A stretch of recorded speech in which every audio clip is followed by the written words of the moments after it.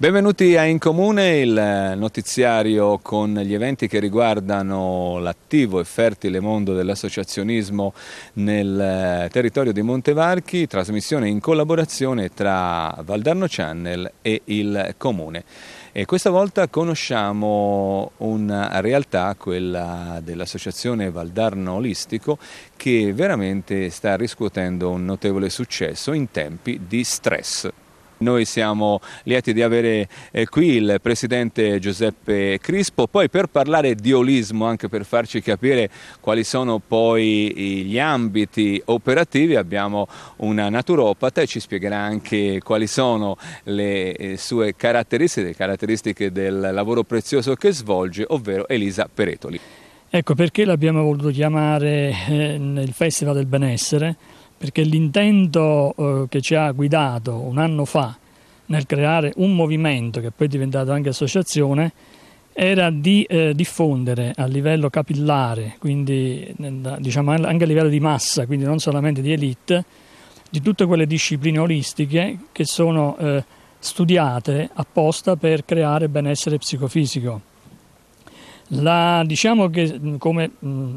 presidente e come diciamo, responsabile dell'evento non posso che essere soddisfatto di come sono andate le cose perché posso dire missione compiuta, nel senso che c'è stato un grande afflusso di, di persone, anche non addette ai lavori, quindi famiglie con bambini e quindi possiamo, ripeto, essere molto soddisfatti del numero di prenotazioni che ci sono state, anche i gruppi dimostrativi sono stati eh, diciamo, affollati, anche la cucina naturale, la nostra cucina naturale è stata diciamo, gustata diciamo con, eh, fino in fondo. E io direi che mh, mm, un ringraziamento particolare lo vorrei dare a, a tutti gli operatori del nostro gruppo e eh, ovviamente alle persone che sono venute numerose, quindi il Valdarno c'è, è sensibile a, a che, che, se ne dica e soprattutto volevo dare un ringraziamento particolare al comune di, di Montevarchi che ci ha patrocinato insieme a Figline Incisa e anche a Terranuova questo evento e ha messo a disposizione la, la struttura molto bella che è quella di, eh, della Ginestra, la fabbrica della conoscenza. Quindi per quel che mi riguarda tut, tutto a posto. Tra l'altro noi, eh, questo è solo l'inizio di tutto un progetto che abbiamo intenzione di mandare avanti sempre utilizzando diciamo, la sinergia con gli enti locali e con le altre associazioni con cui abbiamo preso vari contatti. Ora per quanto riguarda poi la parte diciamo, più specifica dell'olism, eh, io darei la parola alla mia collega eh, Elisa.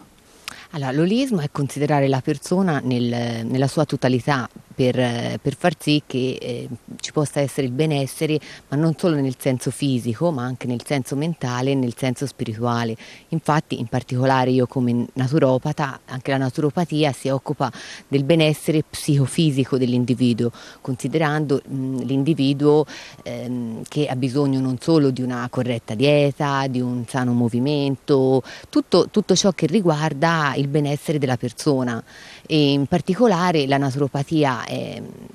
nasce eh, da, da, diverse discipline eh, che, dal, che, vengono dall'Oriente e eh, la naturopatia ehm, ne racchiude tante e diverse, eh, per esempio io più che altro faccio la, la, kinesiologia, la kinesiologia che si basa sul controllo muscolare oppure mh, la riflessostimolazione, la riflessologia plantare, ecco, tutto questo, diciamo, eh, pure la meditazione come mm, fa Giuseppe, eh, tutto questo può essere chiamato olismo. Tra le altre cose è un periodo, sono eh, direi da diversi anni ormai che i ritmi di vita stressanti, si usa stress per indicare tante cose, sono naturalmente eh, più facilmente controllabili anche attraverso pratiche di questo genere. Sì, sicuramente su tante persone che magari io incontro, eh, su 10 persone 9 eh, non hanno dei problemi particolari ma eh, soffrono di stress e questo a causa del ritmo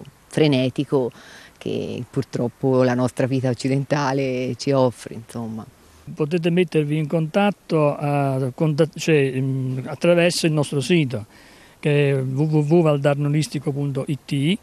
poi eh, sono, c'è una pagina su Facebook che è dedicata proprio a Valdarno Listico. Poi ci sono i vari indirizzi, ma questi sono quelli miei personali. Basta il sito, Presidente. Basta il sito, ok. Grazie allora, buon lavoro a Elisa, al Presidente e a tutta l'associazione Valdarno Olistico. Grazie anche a Barbara Mugnai per le riprese, si chiude qui la nostra puntata di In Comune, appuntamento alla prossima settimana.